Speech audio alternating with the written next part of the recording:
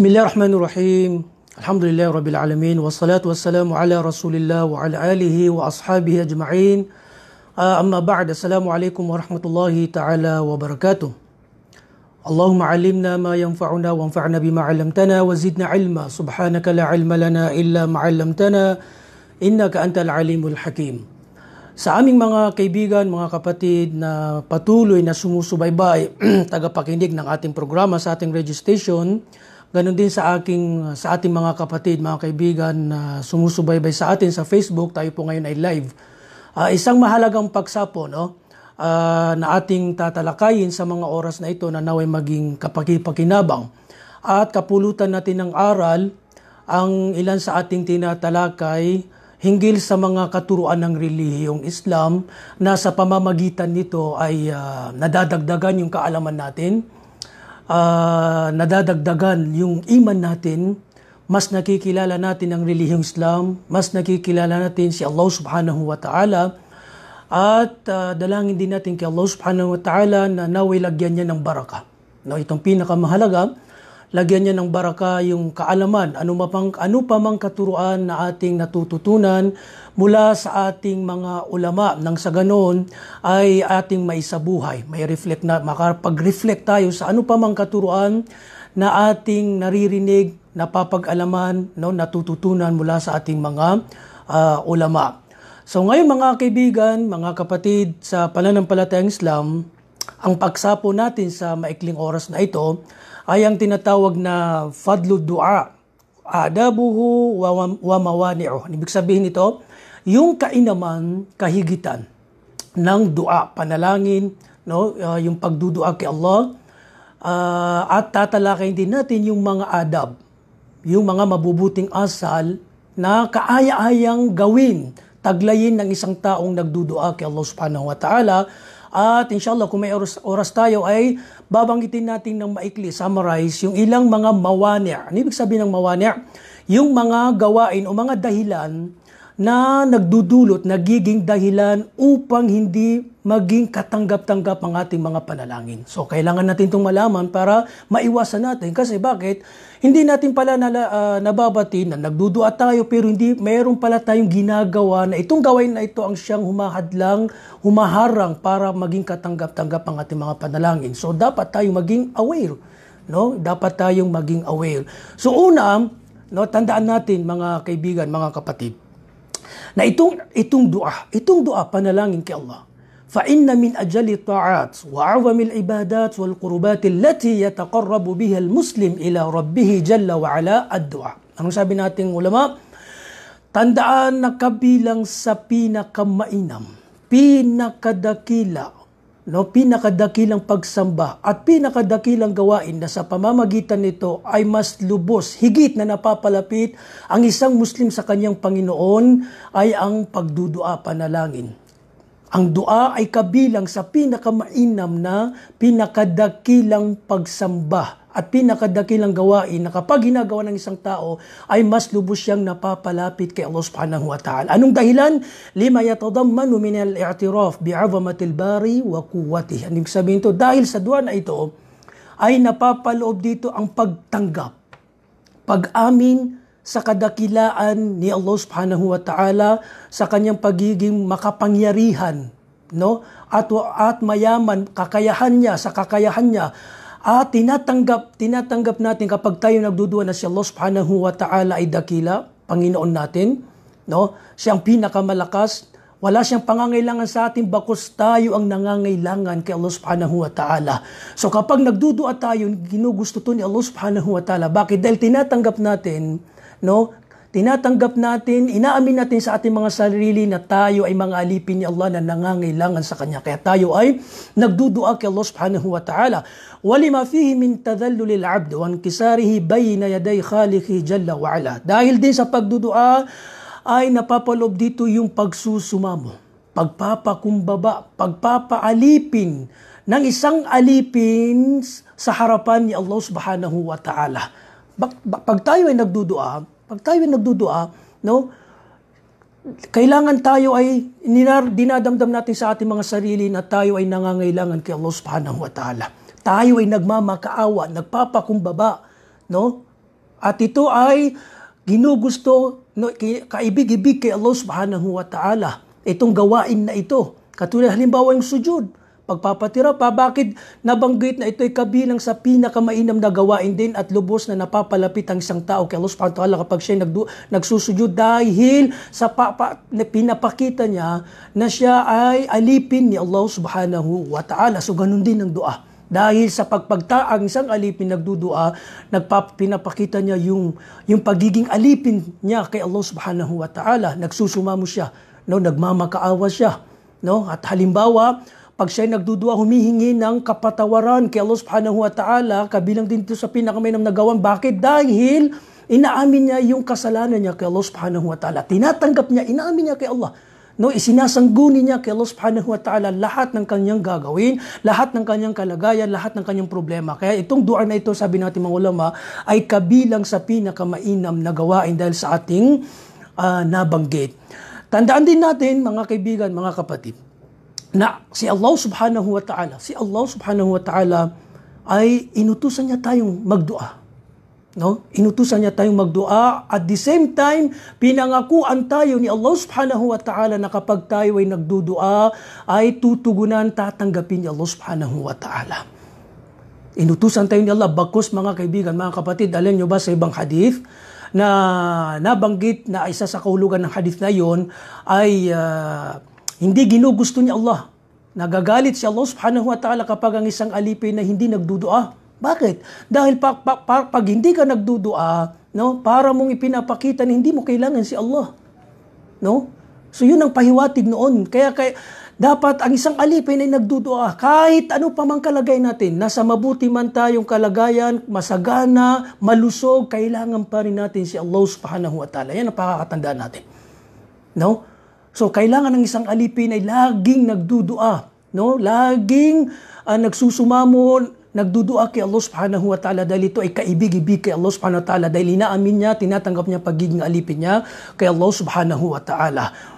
Bukod pa doon, si Allah Subhanahu wa Ta'ala pagkaraan niyang utusan ang sangkatauhan no na, na tayo magdua kay Allah subhanahu wa ta'ala wa wa'ada na bil ijaba pinangakuan tayo ni Allah subhanahu wa ta'ala na kanyang tutugunan. Ito sinabi ni Allah subhanahu wa ta'ala sa banal na Quran sa suratul Baqarah verse 186 sabi ni Allah wa idha sa'alaka ibadi anni fa inni qarib. Ujibu da'wata da' da'i da da'an. Anong ibig sabihin nito? Oh Muhammad no sabihin mo na uh, kapag tinanong ako no tinanong ka ng, uh, ng, uh, ng aking mga lipin hinggil sa akin, ipagbatid mo sa kanila na ako ay malapit. Ujibu da'wat at da'ida da'an. At tutugunan ko, sasagutin ko ang ano pa mang panalangin ng taong nananalangin kapag siya ay humihiling at nananalangin sa akin. Sa ibang aya sabi ni Allah, وَقَالَ رَبُّكُمُ ud'uni astajib lakum. No, sabi niya, at sabi ng inyong Panginoon, manalangin kayo kay Allah subhanahu wa ta'ala, manalangin kayo sa akin, ika ni Allah, astajib lakum, aking tutugunan sa inyo. Ito ay pangako, binanggit ni Allah subhanahu wa ta'ala sa banal na Quran. Sinabi ng mahal na propeta sallallahu alaihi wasallam, Laisa shay akram ala Allah min ad-du'a. Wala, wala nang ibang gawain, wala nang ibang bagay na mas lubos na marangal, mas lubos na mainam na kanyang mahihigitan kay ang pagdudua. Wala na daw ibang gawain. Wala nang ibang gawain pagsambak na lubos na kaibig-ibig, kamahal-mahal, marangal kay Allah subhanahu wa ta'ala na kanyang mahihigitan ang pagdudua. No? Dahil itong dua na ito, ito ay ibada, pagsamba. Ito yung, kumbaga, ito yung saligan ng, ng, ng ibada. Ito yung pinakaugat. Halimbawa, ang pagsasala No? Ang pagsasala, kung titignan natin ang diwa ng pagsasala na, yung pagsasala na alam natin, na pagtatakbir, pagruruko, pagsusujud, ang pinakadiwa nito ay dua, panalangin kay Allah subhanahu wa ta'ala. No? Uh, ngayon mga kapatid, mga kaibigan, no, at nabanggit din dito na kaya ang mahal na propeta sallallahu alaihi wasallam matutungay natin sa napakaraming hadith na ang mahal na propeta sallallahu alaihi wasallam ay laging nagdudua. Laging nananalangin kay Allah subhanahu wa ta'ala.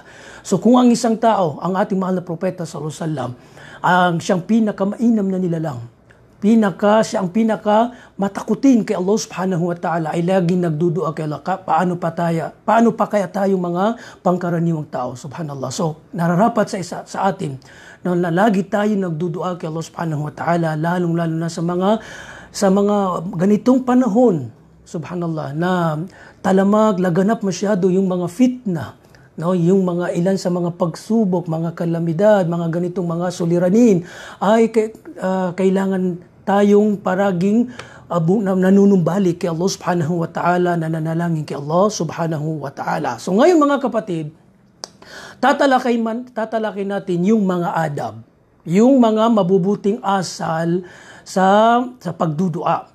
So ano yung mga magandang kakayaan niyang gawain na maring maging ang mahal na propeta sa salam ay naging kaugalian niya kapag siya ay nagdudua. Ito yung ibig sabihin ng adab bilang huwaran natin ang mahal na propeta sallallahu alaihi wasallam, no? Mayroon siya mga kaugalian, mga adab, mabubuting asal na kanyang iginagawa kapag siya ay nagdudua. So inipon ito ng ating mga ulama, binanggit nila itong mga adab na ito mula sa mga hadith na isinalaysay ng kanyang mga sahaba na mga adab sa dua, no? Mga mabubuting asal kasal, mabubuting katangian.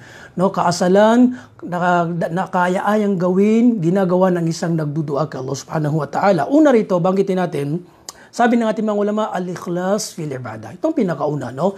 Na ang pag, uh, kailangan nandoon yung sinseridad. Yung ikhlas sa pagdudua. Dahil ito, sabi ng mahal na propeta, ad-dua huwa al-ibadah. Ang dua panalangin, tandaan, ito ay mismo ang siya ay ibada. Hindi lang ito yung lub Kumbaga siya, ito yung utak ng ibada, itong, itong dua na ito. So kailangan nating itong uh, ialay kay Allah subhanahu wa ta'ala dahil itong pinakamalaking kata, uh, karapatan ni Allah subhanahu wa ta'ala. Pinakadakilang pagsamba ang pananalangin. No? Dapat nating ialay ito kay Allah subhanahu wa ta'ala. Wa andal masajida fala tad'u ma'allahi ahada kaya ang sabi ni Allah, tunay ng mga masjid ay karapat dapat lamang kay Allah subhanahu wa ta'ala. Kaya huwag kayong manalangin dito, huwag kayong gumawa ng pagsamba, lalo lang ng pagdua na gagawa kayo ng pagtambal. No, nararapat ika ni Allah na kayo ay nagdudua lamang kay Allah subhanahu wa ta'ala.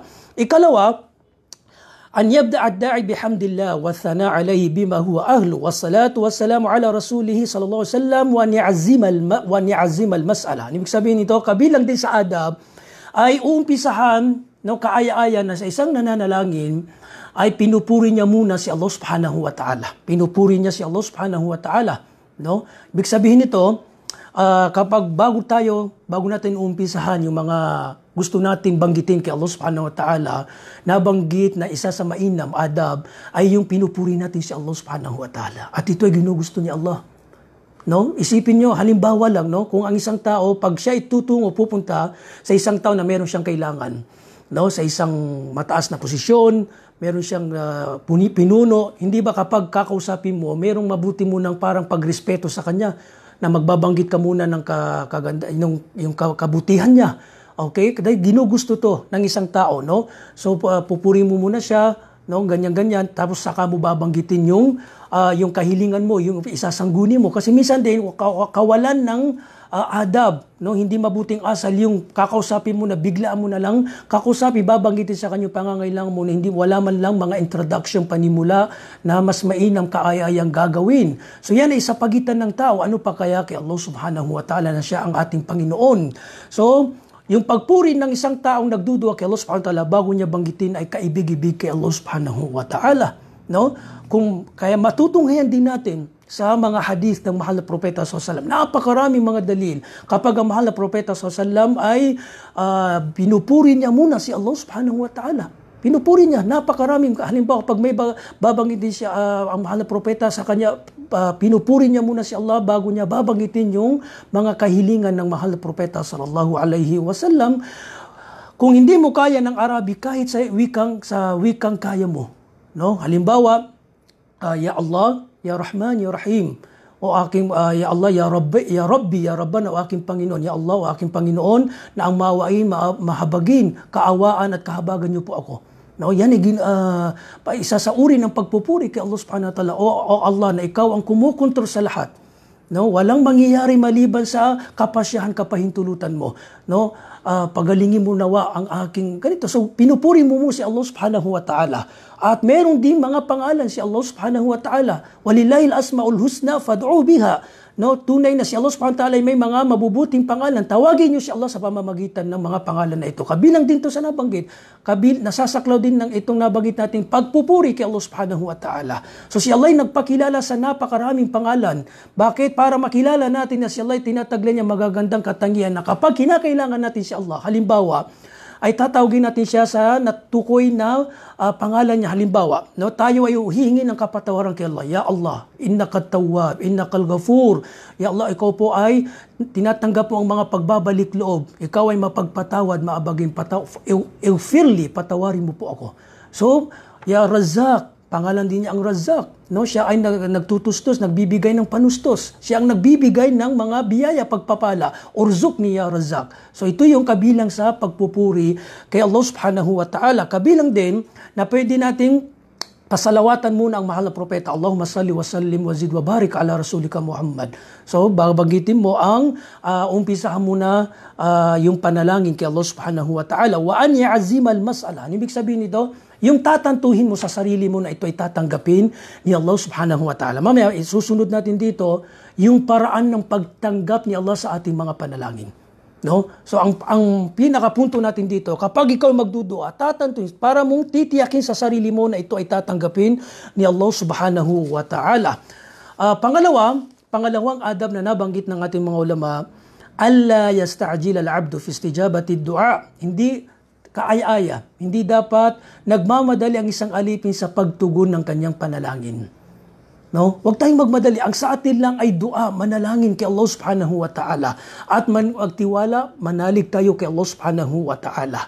Bago ito, tanda itong uh, susunod natin na tatalakay natin, nabanggit sa hadith ng mahal na propeta, sallallahu alaihi wasallam, na ang pagtanggap sa ating mga panalangin ay tatlo. Tandaan natin to. No, dahil pinangakuan tayo ni Allah subhanahu wa ta'ala na tatanggapin niya, tutugunan niya ang ating mga panalangin sa pamamagitan ng tatlo na ito na nabanggit sa hadith ng mahal na propeta sallallahu Una, ipagkaka, maaring ipagkaloob sa iyo ni Allah subhanahu wa ta'ala ang iyong panalangin kahilingan dito sa mundo. Ibibigay sa iyo ni Allah subhanahu wa ta'ala. Pangalawa, maring hindi sa ibigay ni Allah dito sa mundo, yung, yung, yung material na hinihingi mo, maaring gawing dahilan yun ni Allah hindi sa ibibigay niya Allah dahil maaring yun ang makakapinsala kapag nakamtan mo. Pero, no, gagawin ni Allah subhanahu wa ta'ala dahilan yun.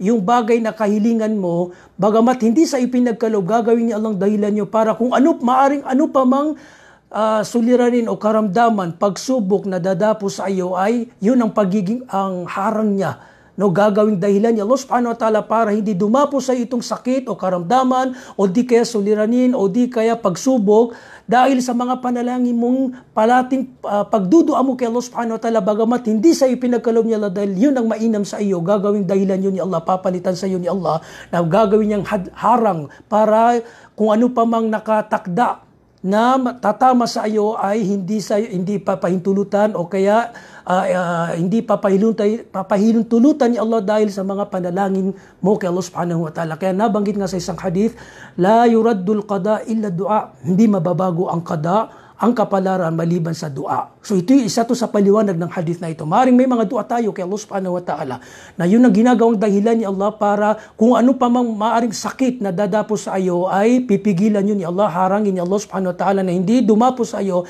dahil sa dua mo na ito. Ito yung kalawa. Ikatlo, an yadda, an yuddakarlak. Ibig sabihin, Iipunin to ni Allah subhanahu wa ta'ala at ipagkakaloob sa iyo to ni Allah ang lahat ng ito sa kabilang buhay. Ang bottom line natin dito, ang punto natin dito mga kaibigan, no? ang sa atin lang ilha, pagpaparami ng dua at si Allah subhanahu wa labis na nakakaalam sa ano pa mang nakakabuti sa atin.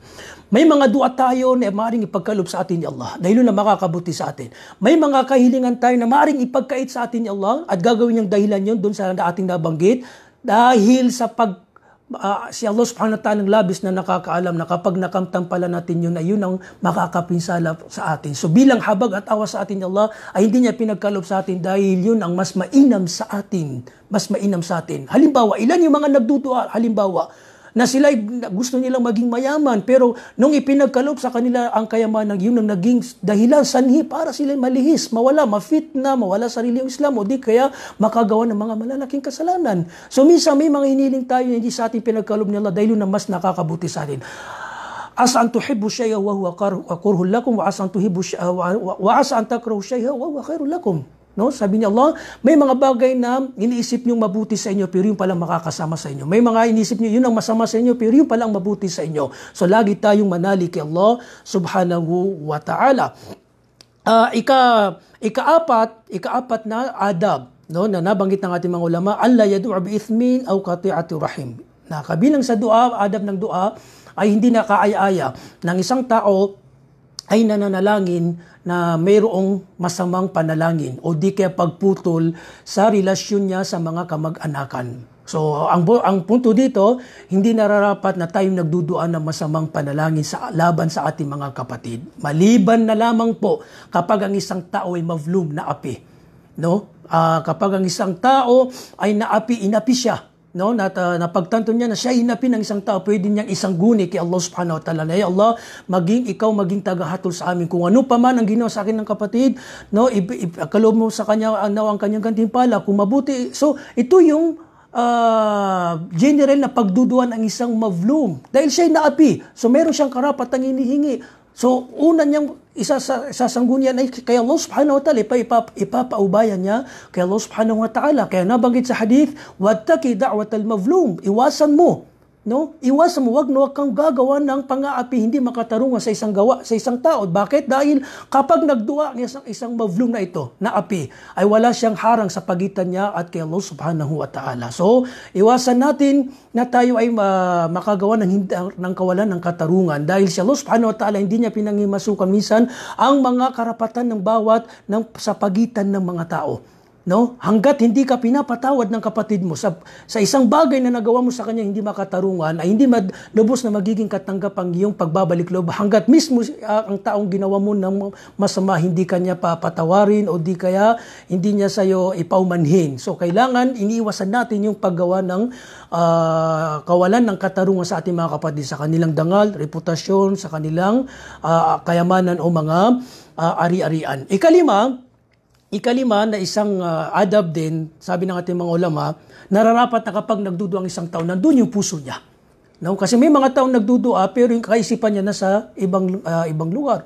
So hindi to uh, nabanggit sa hadith na hindi tinatanggap ni Allah Subhanahu wa Ta'ala yung dua ng isang taong kalbun ghafil lahi. No, uh, sabi ng mahal propeta, "Udullah wa antum muqinuna bil ijaba." Magdua kayo kay Allah na kayo ay pinagtatantyo, tinitiik nyo sa sarili nyo na itong panalangin ay tatanggapin ni Allah. Wa'lamu, tandaan nyo na si Allah ay hindi niya tinatugunan, tinatanggap ang dua ng isang tao, ang puso niya ay uh, wala sa sarili o di kaya uh, uh, habang siya nagdudua pero yung isip niya ay wala sa, uh, hindi niya isinasa puso yung ipinagduduan niya. So dapat tayo ay nagdudua na nandun yung puso natin kasi kausap natin si Allah subhanahu wa ta'ala na mayroong uh, kataimtiman no, mahinahon na pagdudua na para pinapakita mo kay Allah subhanahu wa ta'ala na ikaw ay nagmamakaawa kay Allah subhanahu uh, wa ta'ala.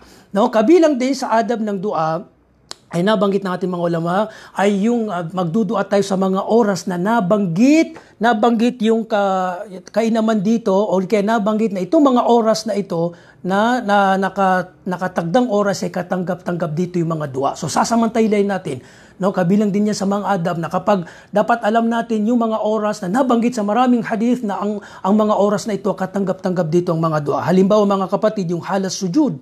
No, halas sujud kapag tayo daw nakasujud yan ang pinaka uh, kalagay na lubos na malapit ang isang alipin kay Allah Subhanahu wa Ta'ala. So tayo ay uh, mag, magdua sa sujud na yan. Kapag sa loob ng sala, no uh, siguraduhin natin na tayo ay naka uh, lingwaheng Arabic kung marunong may mga alam kang duang Arabic ipagdua mo kung kung wala kang alam isa puso mo na lang kapag sa uh, loob ng uh, salah no uh, pero mas mainam sabi natin may uh, scholar magsaulo tayo ng mga duang Arabic no para pag uh, tayo na sa sujud ay nakakapagdua tayo. Bainal adhan wal ikama sa pagitan ng adhan at ikama No? Subhanallah, ito minsan di sinasa, na, sinasamantala, hindi sinasamantala ng isang taong nag-aantay ng ikama. Nabanggit sa hadith na bainal adhanain, no, mustajabu da'wa, o kamakal ali abdalus salaw at taslim. Sa bagitan ng adhan at ng ikama, katanggap-tanggap dyan ang dua. So habang tayo naghihintay ng ikama, samantalahin natin sa pagdudua kay Allah subhanahu wa ta'ala. Wa du'a fi jawfil layl, no, sa hating gabi. Subhanallah. Sa mga huling bahagi ng gabi, yan yung nabanggit sa hadith na bumababa si Allah subhanahu wa ta'ala at sinasa- sinasabi niya na sinumang humihiling sa akin ay tatanggapin ko. Sinumang humingi sa akin ng kapatawaran ay papatawarin ko. So, kabilang din yan sa mga oras na lubos na katanggap-tanggap ang ating mga panalangin. Sa araw ng Jum'ah, lalong-lalo na sa huling uh, sa pa, bago lumubog ang araw, no, mga 30 minutes, 15 minutes, uh, 20 minutes, yan yung nabanggit na lubos na katanggap-tanggap yung mga uh, panalangin natin sa buong araw ng Jum'a, lalong-lalo na itong nabanggit natin sa mga huling bahagi ng araw ng Jum'a.